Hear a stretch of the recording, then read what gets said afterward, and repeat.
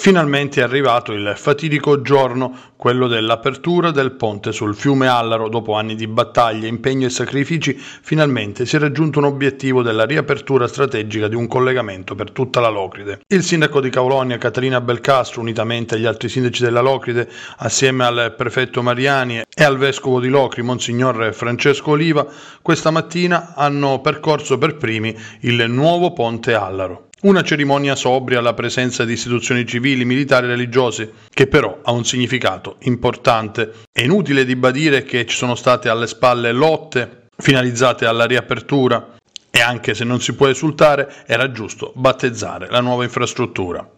Un'opera strategica per la Locride, un'opera fondamentale, dopo cinque anni si arriva alla ricostruzione. Ecco eccellenza, è un giorno importante perché segna una ripartenza per quest'area di territorio che era mal collegata, però eh, dobbiamo dire che c'è stato un enorme ritardo.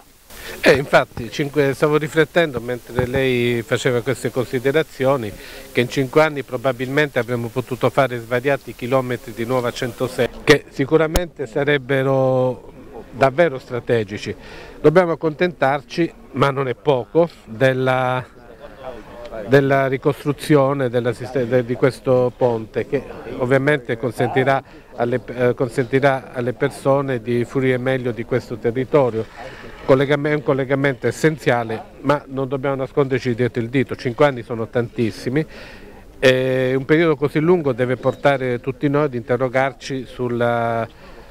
sulle carenze che a volte questo paese, cioè questo è un paese che è in grado di ricostruire il ponte di Genova, di, là dove c'era il ponte Morandi, nel giro davvero di pochi mesi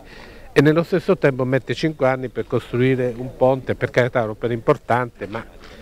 una cosa che in un paese fra virgolette normale richiederebbe qualche mese.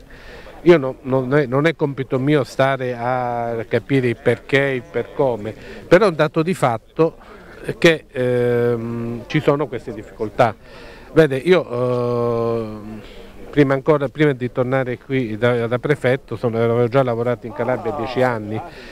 e do, tornando dopo meno di due anni dalla precedente sede di Foggia, ho ritrovato esattamente gli stessi cantieri, gli stessi problemi e così via. Eh, altro esempio banale può essere il tratto di autostrada prima di Reggio Calabria, e lì eh, io sono arrivato il 14 maggio del 2019, siamo arrivati a fine 2020. Per carità, possono esserci tutti i problemi di questo mondo, ci saranno tutte le giustificazioni tecnico-giuridiche di questo mondo, però mi domando se nel 2020 in un paese che ha bisogno non di camminare ma di correre sia possibile con le tecnologie attuali che non si riesca a fare qualche chilometro di autostrada, completare qualche chilometro di autostrada eh, che presumo non dovrebbe richiedere grandissime difficoltà. È un paese che si sta a complicare la vita il nostro, sicuramente ci sono tutte le giustificazioni di questo mondo, ci sono tutti i profili tecnico-giuridici di questo mondo che mm, possono in qualche modo spiegare questo tipo di situazioni, però è anche un dato di fatto e questo dovrebbe essere il buono proposito, il, buon, il nostro dovrebbe far parte dei buoni propositi del prossimo anno che è necessario e indispensabile rimettersi a camminare, anzi a correre. L'Italia ha bisogno di questo e ne ha bisogno soprattutto il Sud. Dobbiamo essere in grado di avere le necessarie dotazioni tecniche, di modificare il quadro giuridico laddove necessario, perché il Paese ha bisogno di opere pubbliche, il Paese ha bisogno di lavorare, e nello specifico la Locride ha bisogno di avere quantomeno la garanzia minima de, delle linee di comunicazione. Io questa zona l'ho già visitata varie volte prima, eh, prima della, di questo giorno e mi sono reso conto di come questo piccolo tratto di strada crollato era fondamentale per questo territorio. Quindi vediamo intanto la parte positiva, il fatto che finalmente siamo arrivati a questo giorno, però dobbiamo guardare avanti, è indispensabile perché il Covid ci ha posto dei, delle sfide del tutto particolari e Paese deve rimettersi, lo ribadisco per l'ennesima volta, deve rimettersi a correre. E questa è una storia che è durata effettivamente troppo a lungo. Sindaco, una data importante, siamo al 22 dicembre e ci siamo, il ponte sull'Allaro come era stato promesso dopo diversi rinvii, diciamo, è partito. Da una parte una soddisfazione, dall'altra un po' di amarezza.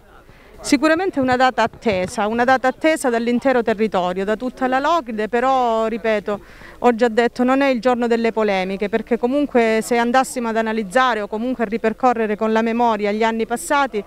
eh, troveremmo tante ombre diciamo, perché i ritardi eh, in dubbio ci sono stati, le lentezze ci sono state, eh, le mh, mm, eh, mutate strategie progettuali da parte dell'ANAS, però oggi non è il giorno della polemica, oggi è il giorno di guardare avanti, di costruire un futuro migliore e questo ritengo che sia un, eh, dire, un messaggio di speranza che si vuole mandare all'intera Locride. Quindi oggi viene riconsegnata alla collettività un'opera, un'opera strategica, un'opera importante importante di collegamento a nord e sud del territorio e di questo bisogna oggi gioire. Ehm, quindi ritengo che, dato proprio siamo alla vigilia del Natale, ritengo che sia un regalo per l'intero territorio, un regalo per l'intera Locride e per tutte le comunità locridee che da oggi in poi possono fruire di questa arteria e, e quindi come dire, da oggi in poi i disagi dei cittadini ormai saranno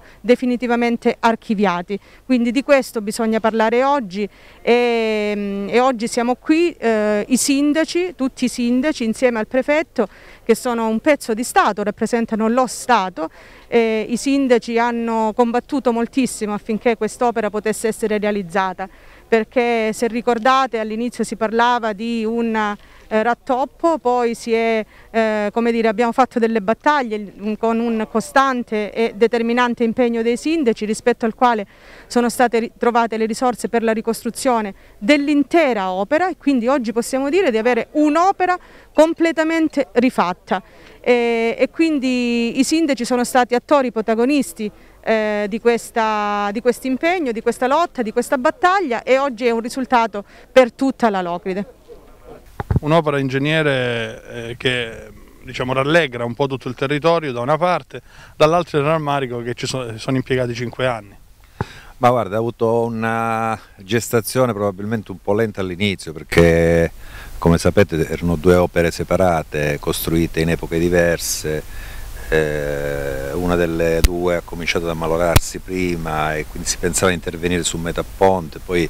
è, è stato cambiato il progetto in corsa, eh, voglio dire, poi si è ritenuto di, di, di, fare il guado, che è stata la soluzione migliore per,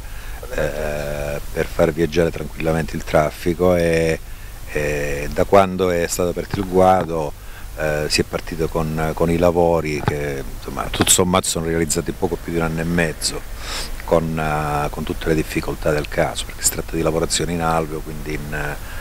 eh, con perforazioni in, in, in, zone in cui diciamo, i tempi purtroppo costringono a, eh, diciamo, a rallentamenti. Ecco. Volevo chiedere all'ingegnere, ecco, che tempi ci sono stati, nel senso che questa struttura che garanzie dà rispetto a quella precedente? Eh, garanzie strutturali intendo che non, non, possa avvenire quello che è accaduto cinque anni fa, ovvero che il ponte crolli. Beh, beh sicuramente è un'opera fondata su pali, ogni pila è fondata su 10 pali di grande diametro, di 1200 di larghezza per 25 metri di profondità, sicuramente le fondazioni sono molto più stabili del resto tutta la struttura. È un obiettivo raggiunto dopo tante proteste e tanta diciamo, eh, eh dire, caparbietà da parte anche dei primi cittadini. Sì, c'è stato tanto impegno da parte della, della comunità, tanto impegno anche da parte dei semplici cittadini direi perché quest'opera venisse realizzata, in realtà sono passati cinque anni eh, ed è un'arteria questa fondamentale, quindi avere interrotto interrotto questa arteria per cinque anni è stata una penalizzazione per tutto il territorio, però oggi è un giorno di festa, un giorno bello solare, luminoso e quindi ringraziamo il Signore di tutto questo. Certo, ci accorgiamo del divario che esiste tra nord e sud, a pensare che il viadotto Ponte Morandi è stato realizzato in 18 mesi e questo in 5 anni ha dovuto attenderlo no, perché non è assolutamente paragonabile a quella del Ponte Morandi, ecco, far capire che c'è un'Italia a due velocità, ma siamo contenti comunque che oggi si possa riaprire questa, questo ponte, quindi l'accesso, eh, perché la Locride è spezzata in due, in seguito all'interruzione di di questo viadotto, quindi per noi è un giorno di festa.